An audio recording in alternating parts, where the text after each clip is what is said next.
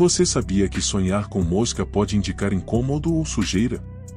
E de acordo com o método de investigação da mente, quando se sonha com uma mosca, isso pode representar um símbolo de algo que está incomodando o sonhador ou perturbando sua paz interior.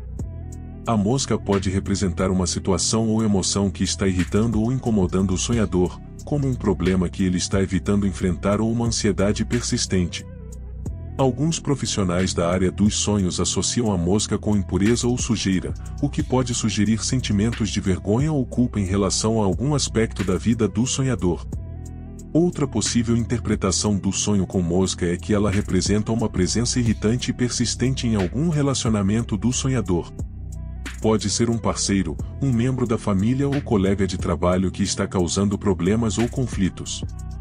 Em resumo, sonhar com mosca é um sinal de que algo está angustiando o sonhador, seja uma situação específica, uma emoção reprimida ou um relacionamento difícil. É importante lembrar que a interpretação dos sonhos depende do contexto pessoal de cada indivíduo, e que é preciso levar em consideração outros elementos do sonho para uma análise mais precisa. Se você gostou do conteúdo curte e compartilhe esse vídeo, e até a próxima aqui no Sonhologia.